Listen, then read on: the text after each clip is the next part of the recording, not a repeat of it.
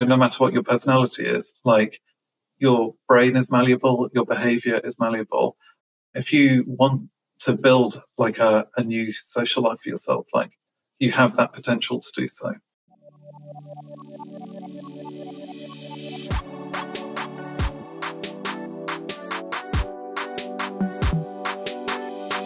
Hello, my loves. Welcome back to the Lavendaire Lifestyle Podcast. It's Eileen. Today's episode is on the science of social connection, how having strong, robust social connection actually makes us healthier. Listen on to learn more about how to build deeper relationships and live more fulfilling lives. Our guest today is David Robson. David Robson is an award winning science writer and the author of The Intelligence Trap, The Expectation Effect, and The Laws of Connection, which just released this June. A graduate graduate of Cambridge University, he previously worked as an editor at New Scientist. His writing has appeared in the Wall Street Journal, Guardian, The Atlantic, Men's Health, The Psychologist, The Washington Post, and many other publications. The Intelligence Trap has been translated into 15 languages. David lives in England. Hi, David. Welcome to the podcast. How are you doing today? Yeah, I'm great. Thank you. Yeah, and thanks so much for having me. Yeah, thanks so much for being here. First, I want to ask you what do you consider yourself an expert in? And tell us a little about your story getting here.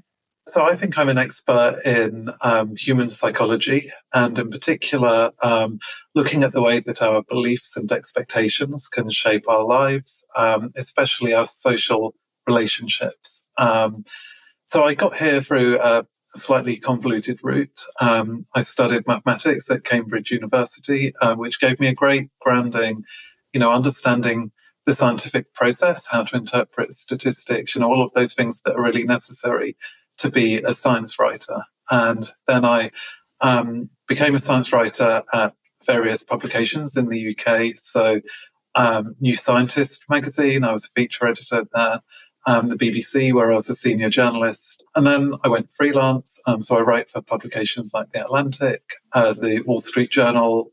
And then I also started writing books about human psychology. So throughout this career, which has lasted now for 15 years, I've always focused on psychology and neuroscience and health. And they kind of really converge in my, my books. Um, so my last one was called The Expectation Effect. And that looked specifically at how we create self fulfilling prophecies that can influence our health and well being. And then my latest is The Laws of Connection, which really examines the importance of social connection for our health. Uh, we know that it's one of the biggest predictors of good health and longevity, um, as important as diet or exercise. Um, and then it looks at the, the kind of psychological biases, the uh, false beliefs and intuitions we can have that prevent us from building uh, great relationships with the people around us. Um, and it feels like a very natural journey, actually, looking back at this. It's like all of my interests and skills, I feel like they've really converged on this career. Nice. Yeah, I thought your path was really interesting because going back to the beginning, like having a degree in mathematics doesn't seem like you'd become a writer, right? What was on your mind when you were in school? And then were you always a writer? So we have quite a specialized um, kind of education system in the UK and that we become specialized very early on. And it was really tough for me to kind of choose to major in mathematics without any chance really of studying humanities or English and writing in particular during my degree. But it had always been a passion for me right from, you know, when I was um, at high school. Um, so really this career just, it, it allowed me to use that passion for writing and creativity to try to communicate complex, difficult ideas about um, how the brain works, how the body works, how we can use these findings to benefit ourselves. But yeah, how to communicate all of those things in the most accessible, entertaining, informative way possible. Yeah, no, I like that your path. It, it, really is like you're blending so many different facets into one. Like because people think writers are more creative, and yet you come from this like very like science mathematics background. So I I think that's interesting. And then if you can explain to our listeners like what is science journalism exactly? Like what makes you different from like other writers or journalists?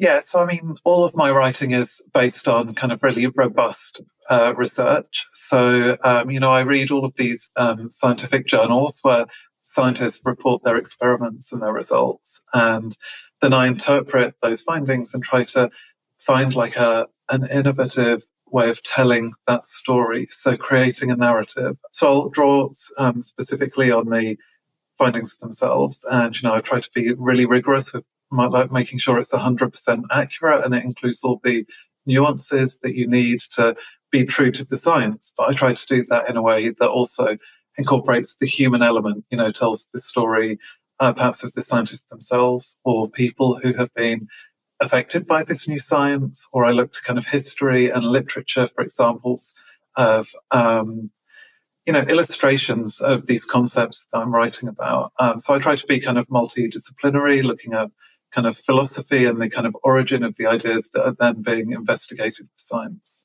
Yeah. No, I love that you are the bridge between scientists and the I guess normal regular people. You you kind of tra- you're the translator.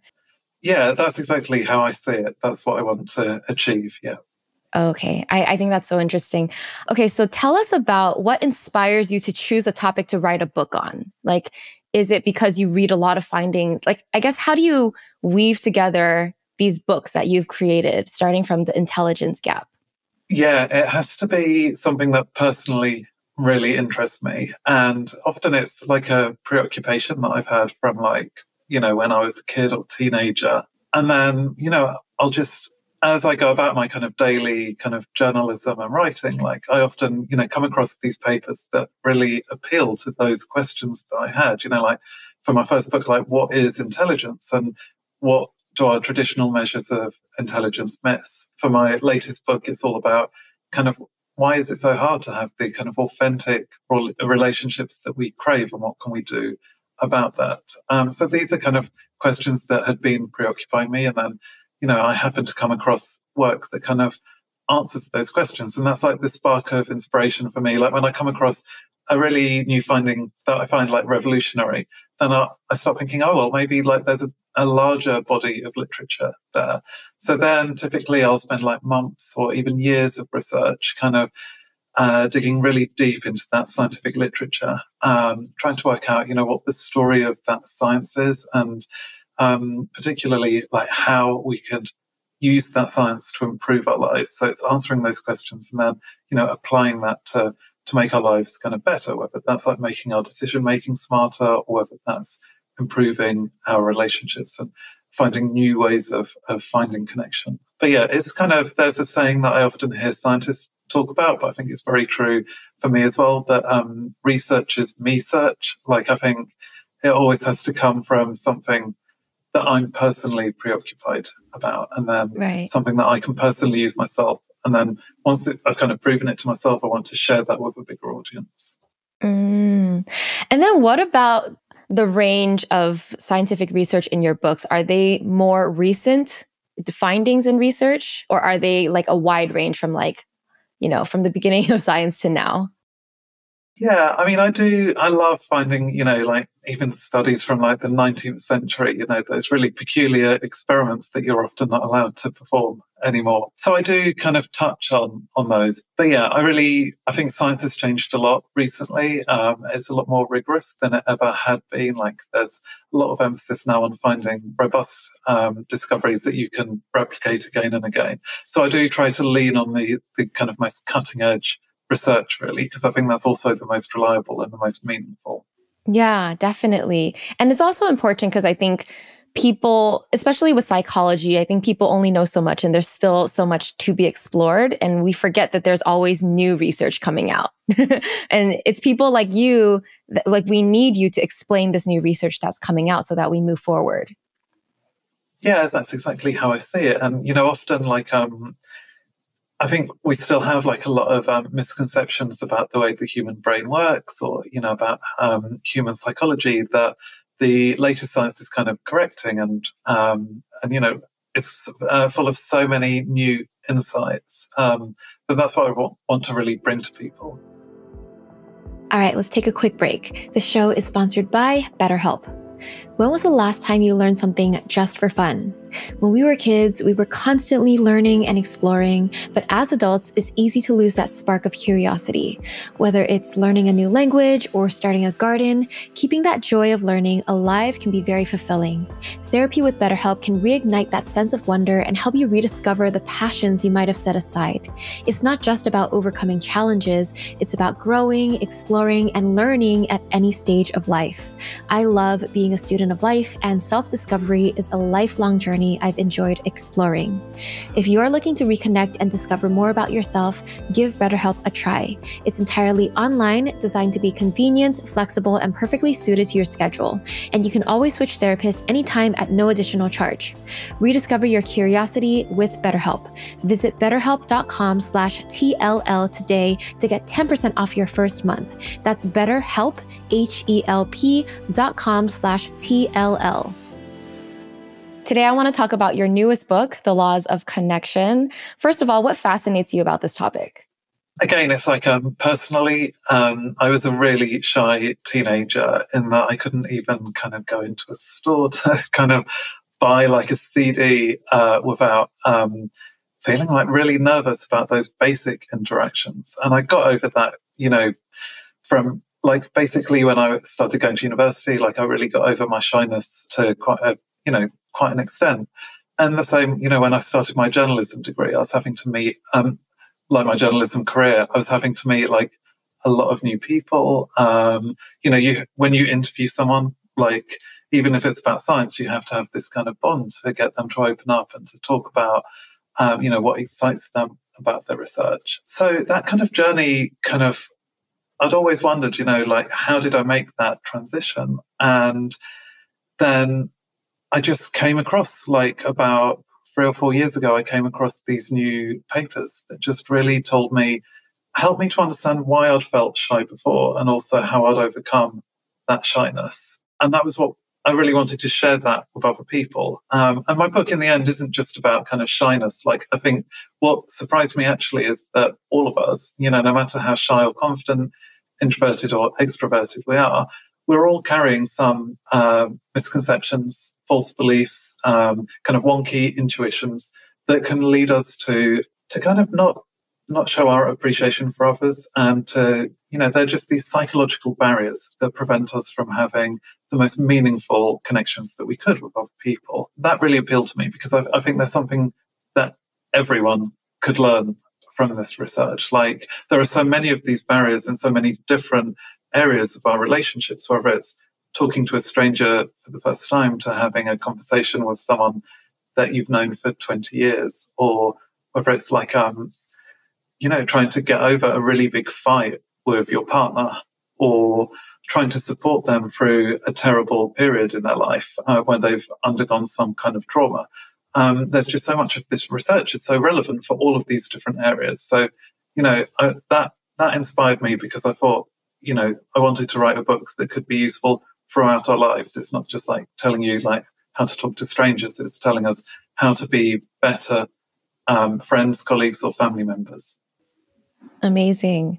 Um, why don't we first touch on why social connection is important for our physical health? And then I'd love to get into all those like psychological barriers that you mentioned. Again, this was another inspiration for the book because we've known for decades now that uh, social connection is just so important for physical health. Um, you know, there are hundreds of studies all pointing in the same direction, and we can see it from other social animals as well. And so it's really undeniable.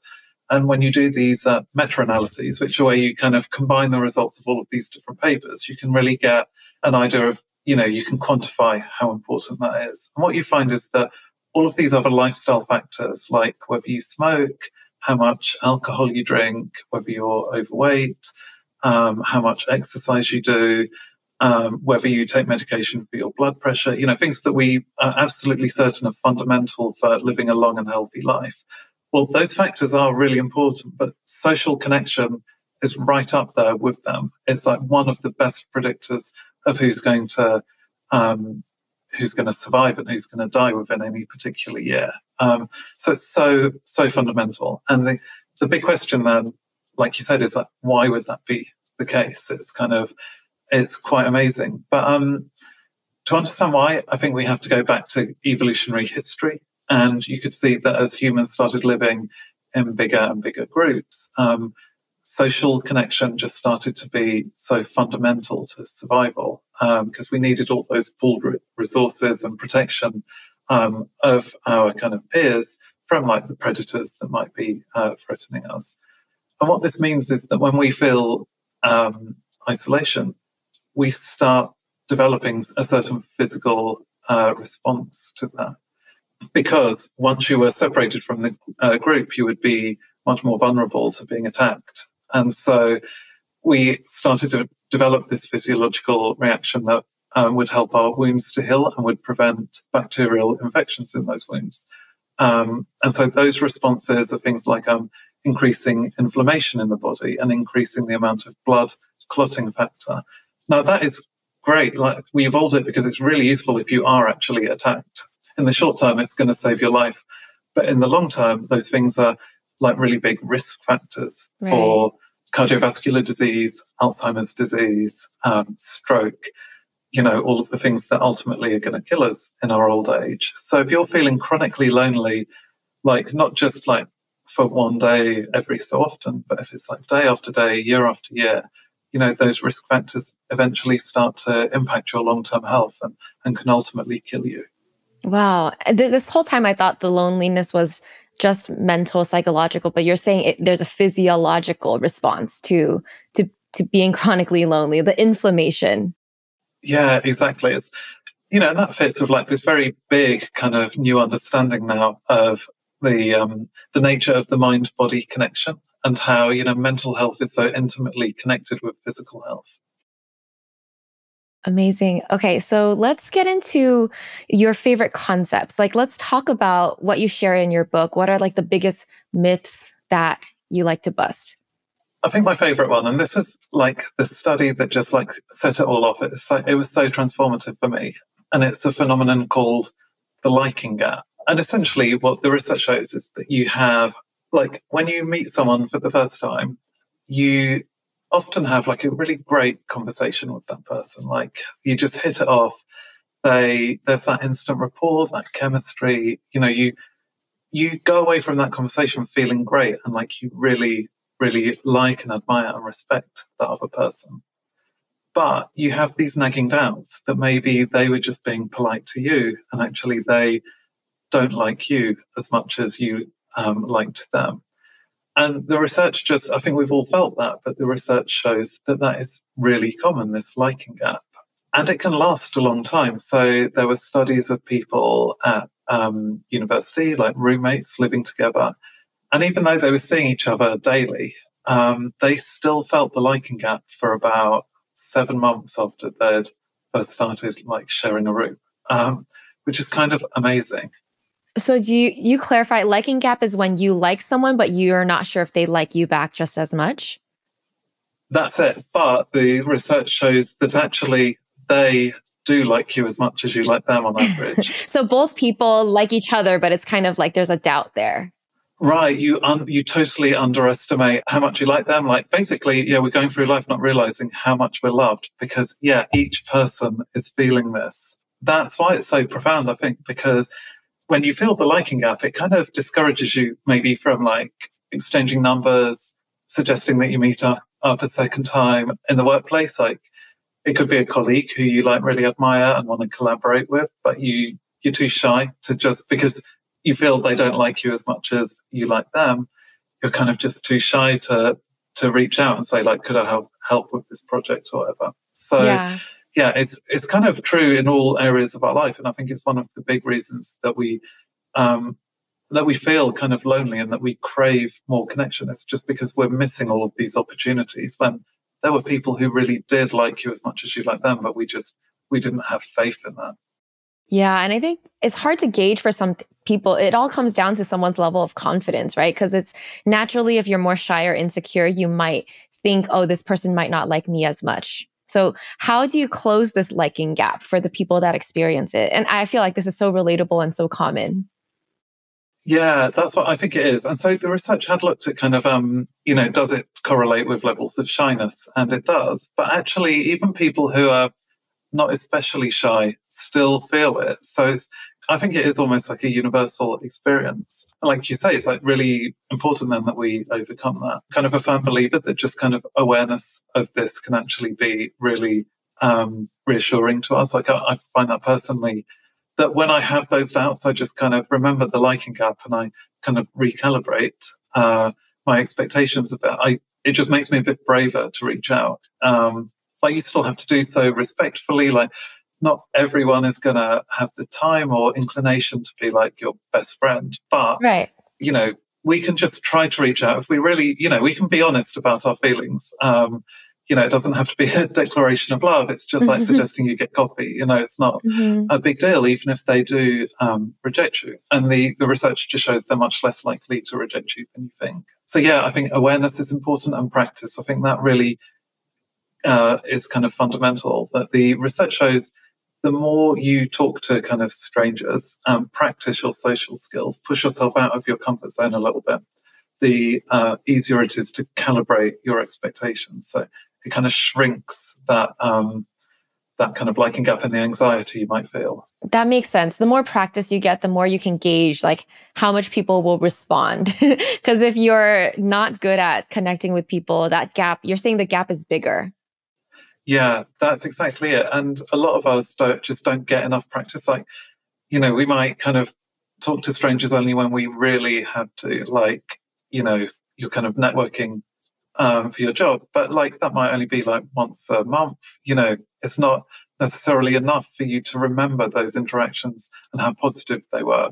So, you know, the research has shown if you just ask people to do, uh, to kind of strike up a conversation with a stranger, just like you know, a few times a day for a period of like one week, even that period is long enough for them to start to feel much more optimistic about the, the opportunity of connection.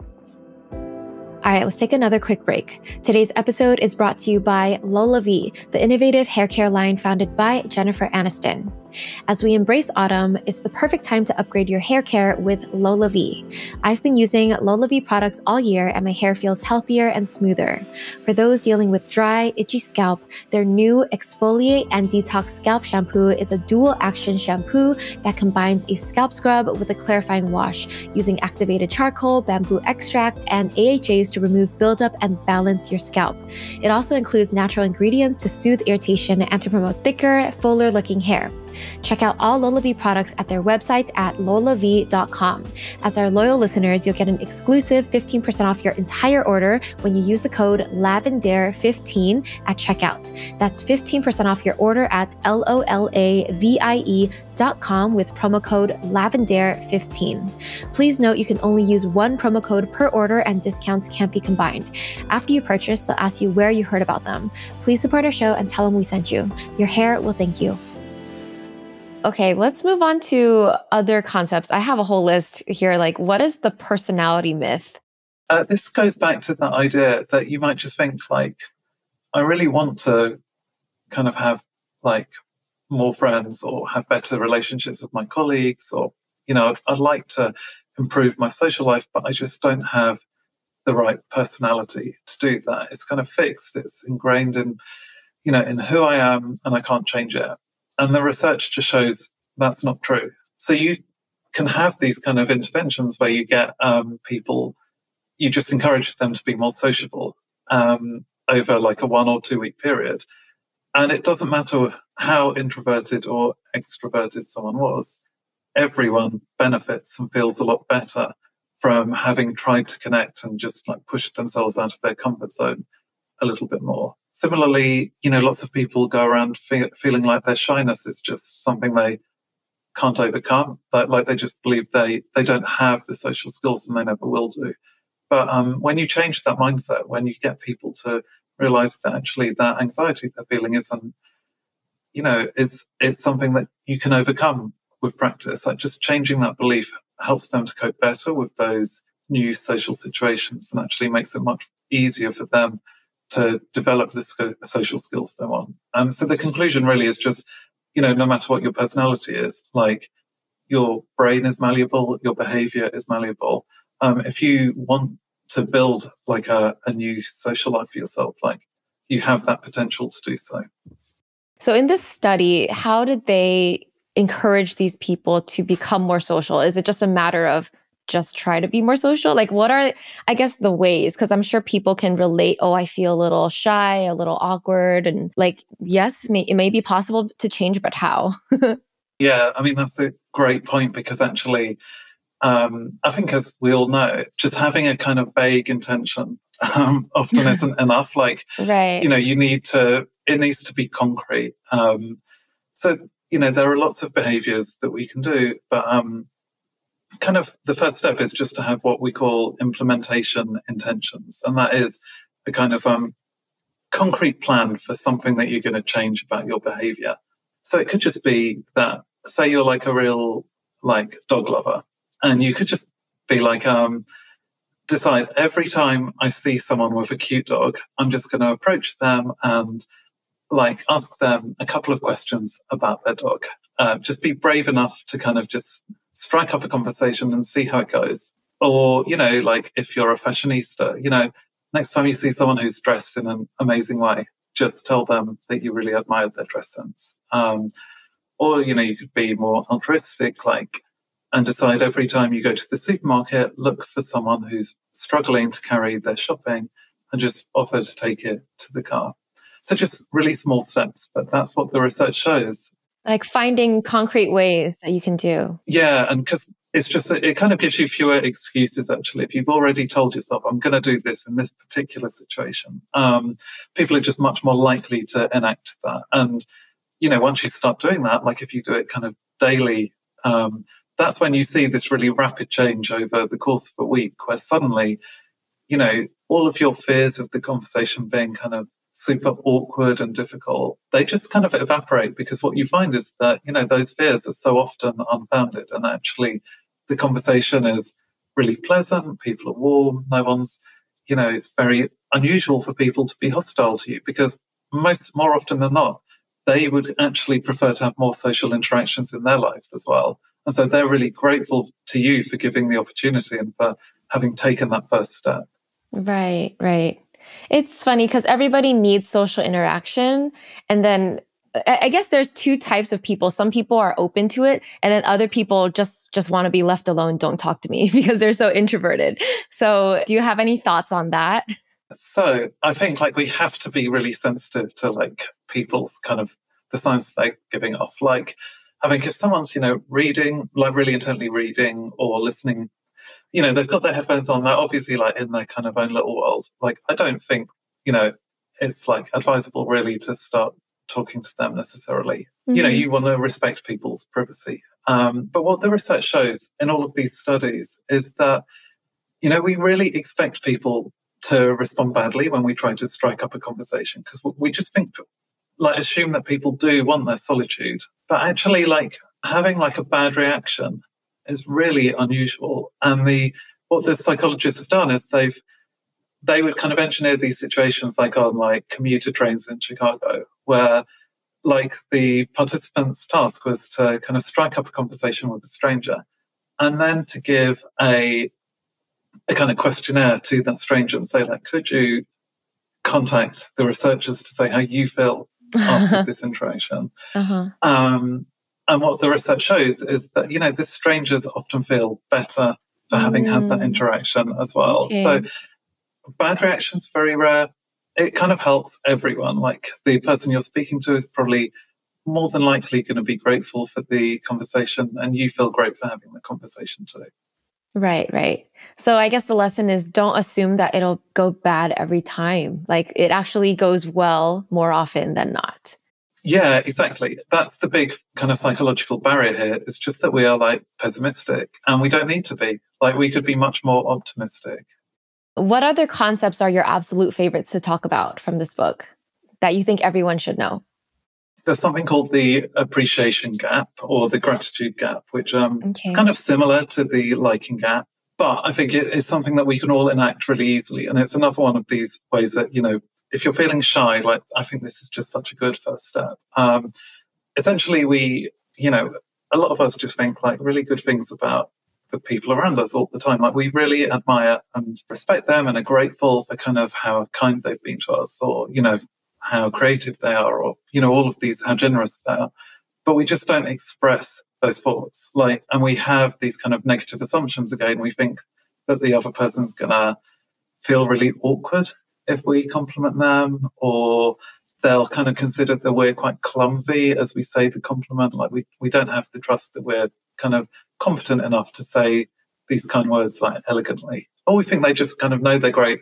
Like right. they don't, we assume they don't need us to say. And all of those assumptions are wrong. Like actually we just underestimate how much it would mean to someone to show more appreciation. So that's why it's a kind of gap because we just don't recognize how much they, uh, they want to hear these words from us. And all of the kind of fears that we have about kind of not being able to do it gracefully, um, you know, no one's judging us on that. They, people are mostly just um, concerned about the warmth of the sentiment. They don't really care if you say it in a slightly kind of awkward or goofy way. Like, in, you know, I'm sure sometimes that just makes it even more charming, actually. And, you know, like we, you might think, oh, but won't it get a bit wearing for them if, if we're like complimenting them kind of every day, even? But the research shows that actually no, like people love every time you say a compliment, people love it. Even if you do it like every single day for a week, people feel just as good at the end as they did at the beginning when you say that compliment. So, you know, this simple moral of that kind of story is that we just,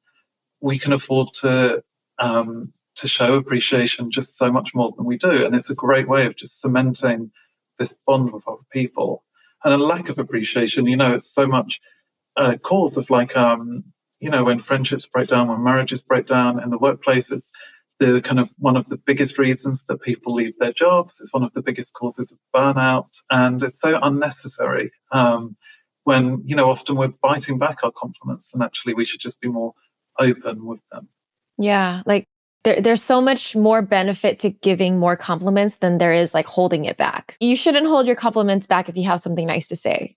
Yeah, that's exactly it. And so um, it benefits the other person and it really benefits you too. And it can even, you know, we were talking about the health benefits of social connection. Well, actually, just this one social act can help to soothe your physiological stress response.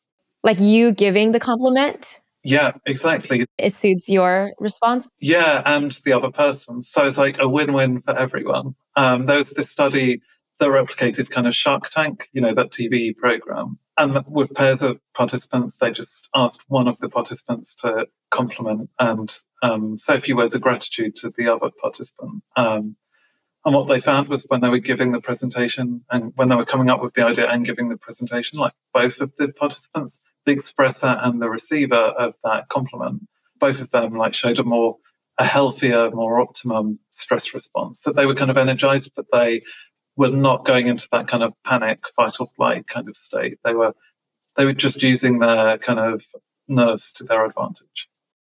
Wait, so how how do they measure this? like, tell me more about the studies.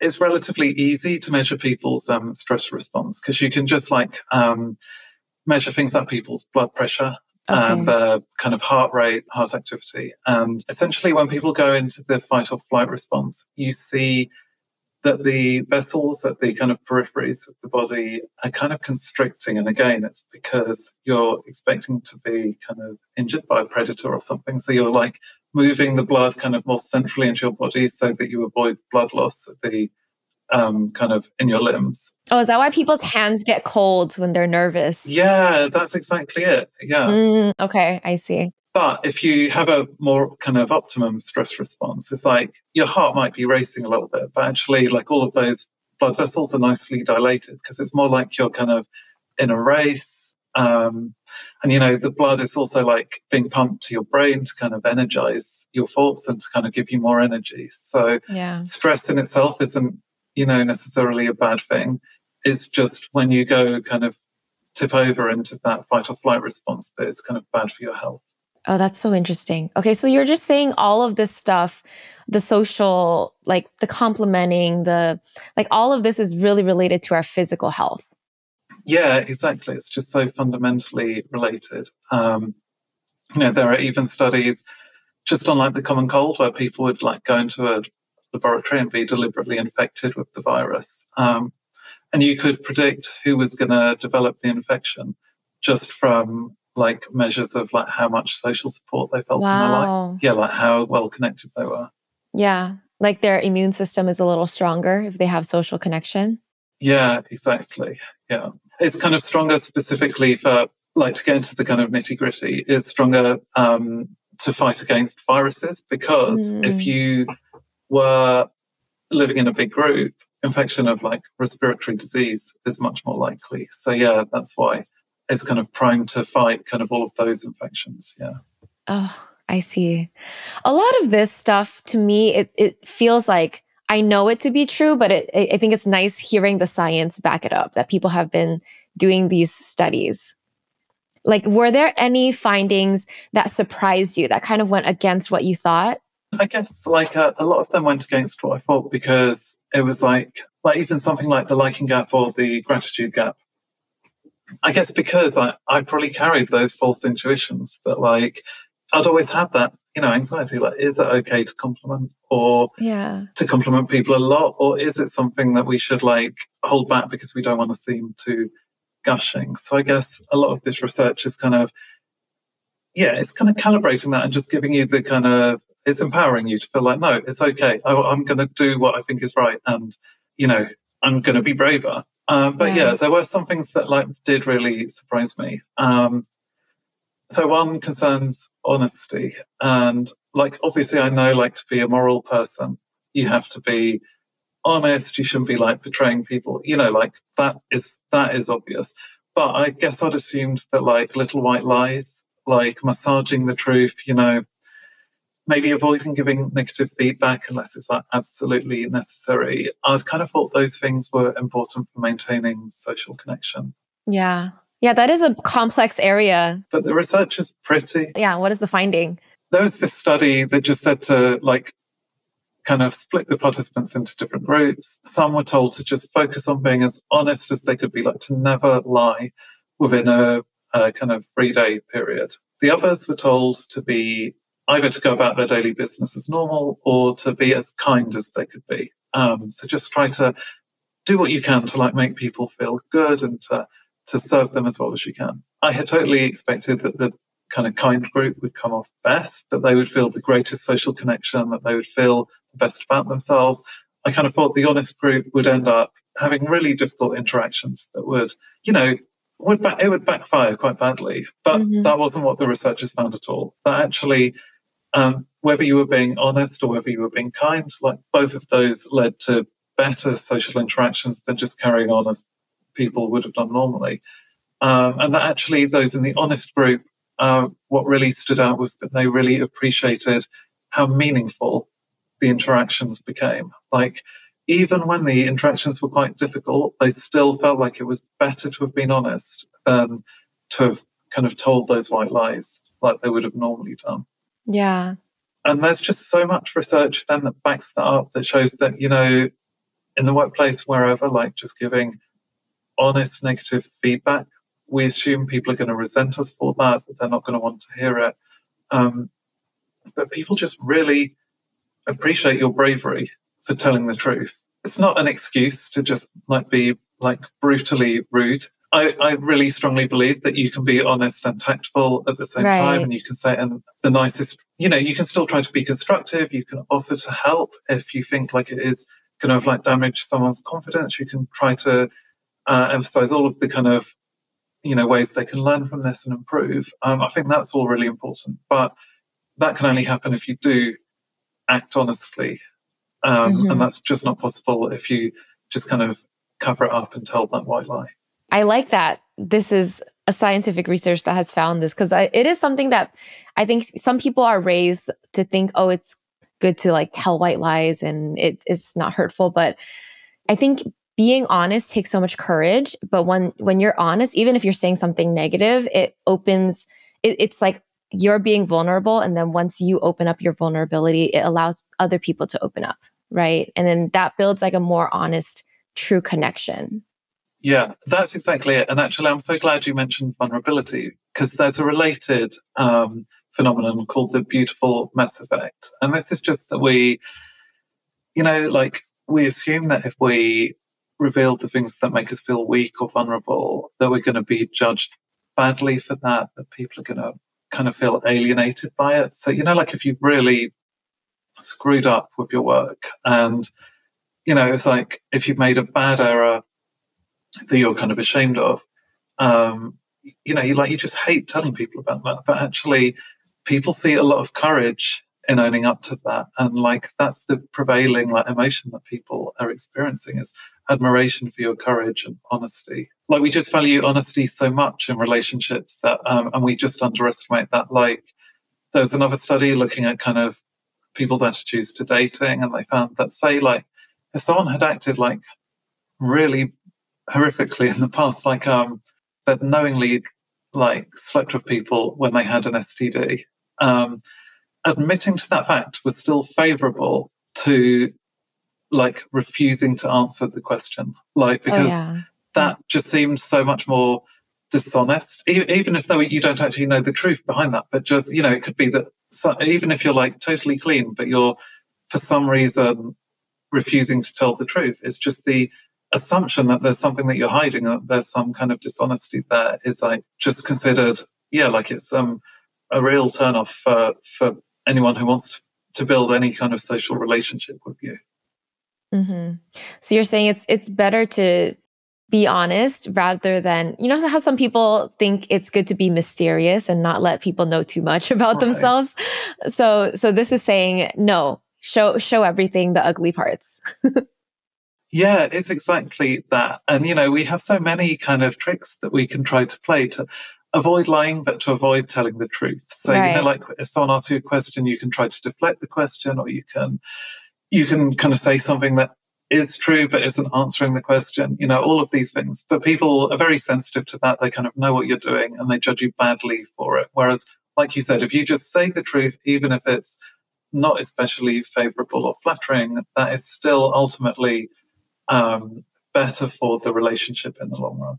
Okay i think you also have some a concept where you you say it's a simple technique to resolve arguments. Can you tell us about that? You know, I think we all know, like a lot of us just are not good at, um, in the middle of a fight with someone, we're not good at seeing the big picture, at kind of uh, considering the other person's point of view. Like we, each party gets very defensive, and often we focus on like these tiny details. It's like we have this kind of microscopic attention that makes even like the smallest kind of things, like the you know, particular word someone said, we start to kind of blow up and, and you know, think that is like the most important thing in the world. Um, and that's why we struggle to apologize, struggle to find resolution.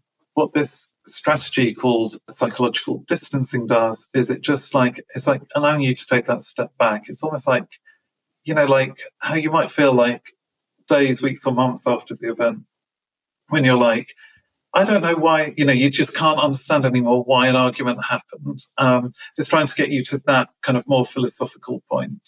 Um, and it's very easy to, to achieve actually. So, I mean, put simply, like, um, you just try to imagine yourself in a different perspective. So you could imagine being just an objective observer looking at the scene, like when you're having this argument.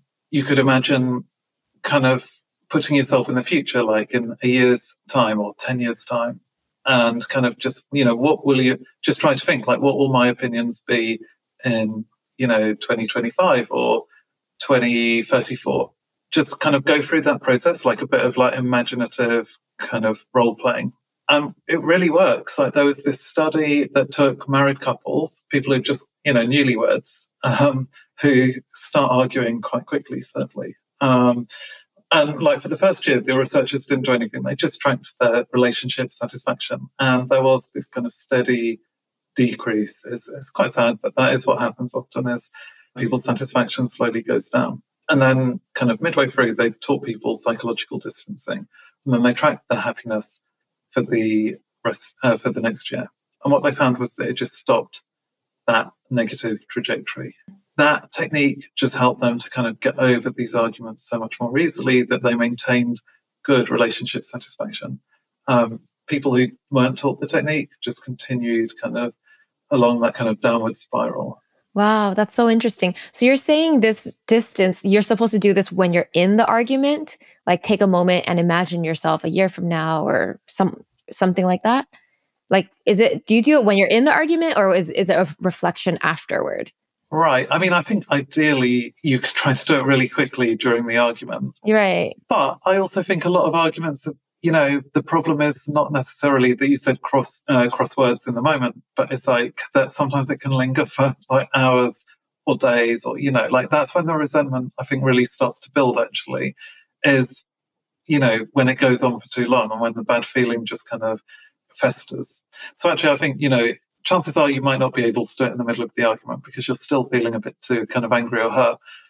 But you know, if you kind of go for a walk around the block or you know you just like take a bit of time for reflection, like straight afterwards. I think that's when it's ideal, really, so that you can go back to the other person just with a more constructive mindset, recognizing what your faults might have been.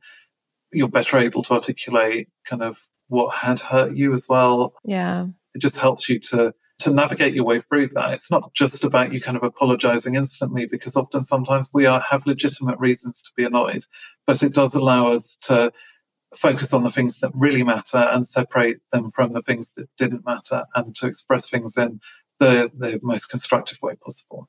Right. And this is something that both parties need to be able to do, right? To be able to take themselves eh, like far away from that moment.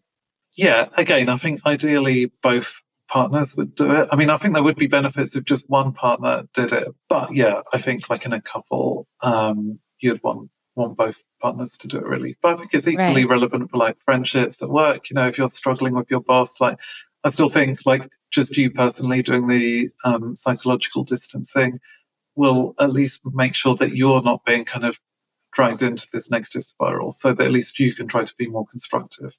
Definitely. Okay, so next, I'm curious, what's your take on social media? Like, is it helping us or hurting us? And how do we build real connections in this digital age? A lot has been kind of written and said about social media's kind of negative impact on mental health. And I think, you know, there's good reason to think it can be a problem. Um, but I think what psychology is moving towards now is recognizing it's kind of on, it varies like by individual and even within an individual's life. So I think there could be times when we're using social media and it's like totally healthy and actually is, you know, helping us to kind of achieve our goals and to to kind of get the connection we desire. And other times, maybe we're engaging in less healthy behaviors. And I would separate those behaviors into kind of two broad categories. Social comparison, when you're using social media to kind of either to try to kind of paint this perfect view of your own life or, and also when you're kind of feeling envious and jealous and comparing yourself to other people's lives. Um, I don't think there's much debate amongst psychologists that this is bad for our mental health. Like mm-hmm. social comparison is always pretty dispiriting because no matter how successful you are, you, you it's like a never ending battle because you're always going to find someone else who's achieving more, you know, seems happier, seems healthier, whatever. So it's, it's, you know, it's a battle you can't win. And just to try to, when you catch yourself doing that, to just try to disengage, I think that's a really good thing to do. And even, you know, when we're portraying our own, own lives and you know, I think a lot of us sometimes are feeling a lot of pain inside, you know, for like stuff that's going on privately. And we might think it will make us feel better to put this kind of polished veneer on social media. But actually, I think all that does is actually make us feel more isolated because mm-hmm. it just emphasizes the fact that other people don't understand kind of what we're going through. And a bit, you know, when we spoke about the beautiful mess effect, like by not showing the kind of messy part of our life. And we're not allowing other people to kind of share their vulnerabilities in turn and actually recognizing that we're all going through, you know, we're all suffering often in some way. Like that shared humanity can be a great source of, of connection and comfort to us to recognize that it can be a source of compassion. And if we're using social media in these ways, we're not really allowing that to develop. Um, mm-hmm. So that's the bad behavior. The healthier way, I think, is to recognize that actually social media, modern technology has given us all of these tools that mean that we can reach out to people and for meaningful connections um, in ways that we just never would have been able to before. You know, like if you you can live in a totally different part of the world to someone and yet you can be in regular contact with them now. Like one of my best friends, I just happened to meet when I was doing like kind of filming a short documentary in Sardinia. Like she was on the team and like we just instantly hit it up. And like, because we have like, you know, social media like Instagram, we have WhatsApp, all the, we can interact like daily or weekly, um, in a way that wouldn't have been possible before. And so I think recognizing that fact and just making sure that we're using new technology in that way, I think that's, that's healthy and it can really enhance our lives. Yeah, I love that. That's a very balanced answer. Is like there it, it really is just a tool. You can use it in a healthy way if you're aware of like what's positive and then you can just avoid the negative ways to use it. But I think it all comes down to awareness. Like it's not good to compare yourself. It's not good to put up a front like the filter that you mentioned and it's like i think more and more i've seen the trend uh, in social media is like we're moving away from that like perfect image and more more people are becoming more vulnerable. Yeah, I totally agree. I think it is just like using it mindfully in the way that you said. I think that can be so powerful. Okay, David, I'm curious how has your personal life evolved since you started writing about this topic? Like, have you implemented these changes? And I guess, I don't know, I'm, I'm just curious.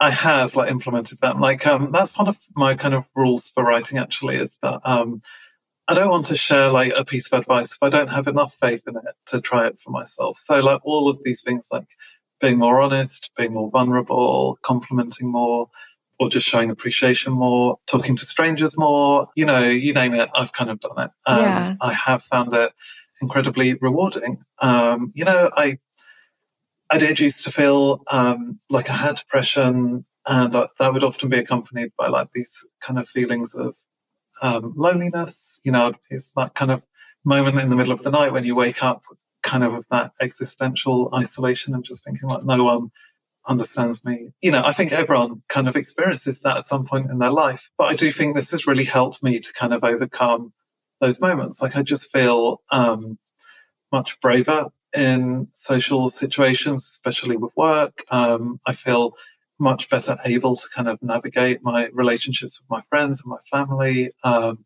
you know, I feel closer to a lot more people. Um, so yeah, it has transformed my life. And I guess that's why I'm quite kind of evangelical about this research and why I want to share it with so many people. Yeah. What are the concepts or habits that have stuck with you most? Like, what do you find yourself doing more now that you didn't do before diving into this? I think being more honest about vulnerability. So recognizing that beautiful mess effect, but also there is a converse. Uh, there's like a, different side to that, which is called confelicity. And basically, uh, so confelicity is the kind of joy of sharing happiness. And what the research showed, and again, this really surprised me, was that um, we often hide our successes because we're worried about seeming like we're bragging evoking yeah. envy, getting people, you know, like, so we hide our successes. And actually, that is as bad as hiding our vulnerabilities. Mm, um, like okay. people feel pretty insulted, actually. If you, like, imagine your best friend or, like, you know, a sibling um, who, imagine how like you would feel if you found out they had something great in their life and they just hadn't told you it feels like they don't trust you mm-hmm. that they're kind of managing your emotions because maybe they think you're going to like act up and be like a a spoiled brat. Like we, and we, we often when we're hiding our success, we just don't even consider how the other person's going to perceive that when they actually find out, like, about our achievements or the things that are making us happy. So rather than evoking like envy, like what the research shows is that just being honest about the things that are making us happy often evokes confelicity in the other person too. And that is really important to share. So we just shouldn't be shy about talking about the things that are giving us joy. And so that's something that I've really taken on board too. It's like I'm happier now to share both the things that are making me anxious or, you know, that I'm kind of have felt shame for. I'm also happier to talk about the things that are giving me real pleasure in my life. And that has just, you know, it really has I added so much more color to my relationships, I guess. It's just, I've really filled the connection from doing that. Yeah, it's beautiful. I guess the main message I'm hearing is that once you remove these filters that we put on ourselves because of whatever fear of judgment, fear, I don't know what kind of fear we have, but once we remove that filter and just express how, who we are, how we honestly feel, or what we're honestly going through, it usually like results in a positive effect like showing the happy sides and the the vulnerable negative sides it's it's showing it, it just seems like we're sh- just showing more is the answer. Sharing more showing more. Yeah that's exactly how i think it is. It's, it's exactly like you said like we have filters with we have this fear of judgment that leads us to filter everything and actually just removing that and letting people see like you know the whole of you rather than like this tiny little part of you. Right you know that creates connection. That is what is is just so fundamental for connection and i think we often we don't recognize that fact okay david if we if you could share like an actionable tip for listeners to implement today what would that be so i think this goes back to kind of technology maybe and how we can use it to our advantage so i think we all have people in our lives who like we really love but we don't see them nearly as often as we should do. And we have maybe neglected them a bit by like not, you know, not messaging them. Like we might be waiting for the perfect moment to message them to say we're still thinking of them, but it just never comes. So we, those, you know, that bond starts to feel like it's weakening. And the research shows actually that like, um, it's like never a bad time to reach out to those people. And we don't need to like wait for that perfect moment. And we don't need to worry that they will have moved on with their lives because, you know, again, the chances are like the, the, the odds are stacked in your favor. Like that person is more likely than not to just be thinking about you and missing you too, and actually just reaching out to them and letting them know that. Like everyone feels happier, you re-establish your connection, and you know nothing that we fear actually comes to pass. Like so, that would be that's another thing that I practice myself, and that's what I think you could do, like immediately after you stop listening, is just to kind of contact that person and just let them know that you're thinking of them, that you care about them, that you love them. Oh, that's a really great tip because I think, yeah, e- even when you say that, I like have a couple people on my mind, like people you've been meaning to contact, but have just been waiting for the right moment. But there is no perfect moment. Maybe just yeah. practice when you think of someone, let them know. Like mm. simple as that. Yeah, that's exactly it. It's another one of those implementation intentions. And I just think it's very liberating. And yeah, it can, you know, only add joy to your life. I love that. Amazing. Okay, so David, where can we find you online? So I'm on um, Instagram, just kind of starting out, like building up a following. Um, David A. Robson. I'm on Twitter, D underscore A underscore Robson uh, my website with like more details of my books and my journalism. Um, that's uh, davidrobson.me.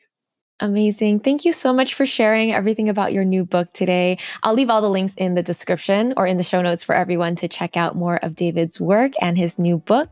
Thank you so much. This was really empowering and encouraging to just go out and just connect more. Like there's there's nothing to be afraid of.